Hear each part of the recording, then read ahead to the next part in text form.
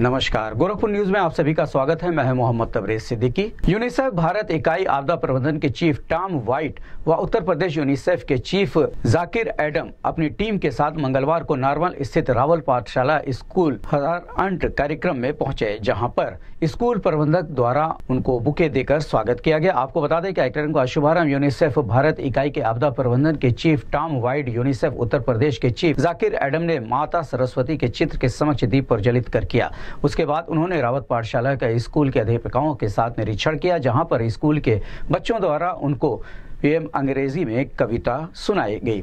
उन्होंने स्कूल के बच्चों से बात भी की। उसके बाद स्कूल के बच्चों द्वारा, नाटक द्वारा आपदा प्रबंधन के बारे में बताया गया। अगर धूप में लू लगती है तो किस तरह से बचाव किया जाए? यदि लू चल रही है तो बाहर ना निकला जाए। जिस पर टॉम वाइट ने प्रसन्न होकर बच्चों के साथ फ़ोटो भी खिंचवाया।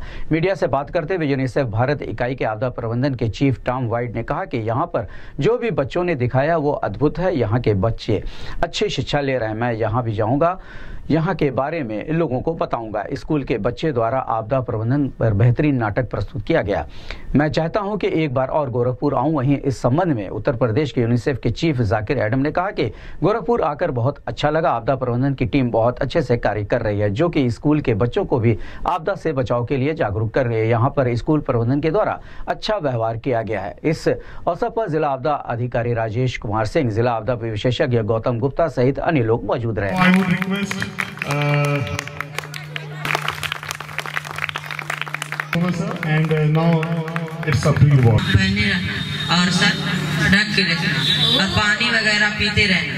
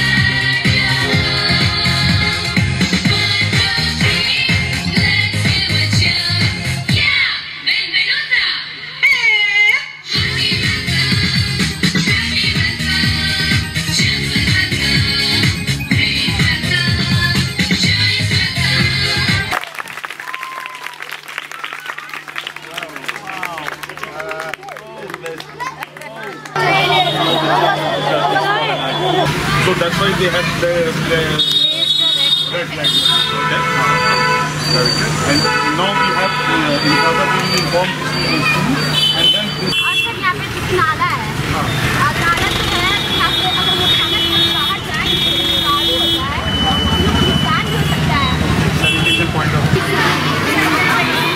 ah they had placed the green flag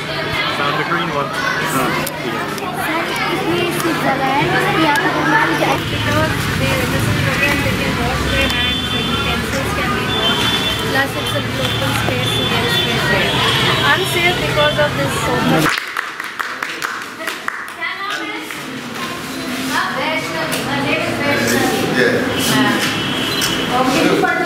This is the Tom. yes. Tom lives in uh, Delhi. New Delhi. I will take the lesson you have taught me and share this with other children in other schools. ने जो कुछ बताया समझाया है वो मेरे लिए एक मेरे लिए भी एक सीख है। मैं भी इसको सीख के जा रहा हूँ और जहाँ कहीं भी जाऊँगा जिस भी स्कूल में जिस भी बच्चों के साथ जाऊँगा या जिन लोगों के साथ बातचीत करूँगा आप लोगों की ये बातें उन लोगों के साथ साझा करूँगा उन लोगों को भी बताऊँगा हाँ, मेरा नाम जकरी अदम है। क्या नाम है इनका? जकारी एडम क्या नाम बताया?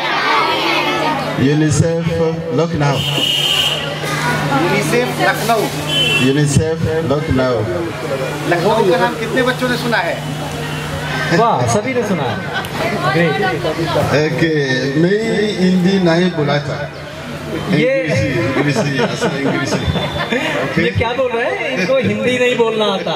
पर आप तो पूछ सकते ना आप तो हिंदी बोल रहे हैं टूटी फूटी और आप इनको थोड़ी थोड़ी थोड़ी थोड़ी.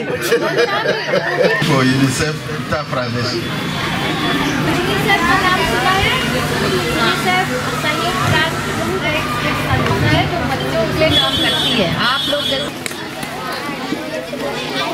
इस संबंध में गोरखपुन्नी से बात करते हुए यूनिसेफ भारत इकाई आपदा प्रबंधन के chief Tom White UNICEF Uttar Pradesh के चीफ जाकिर एडम ने कहा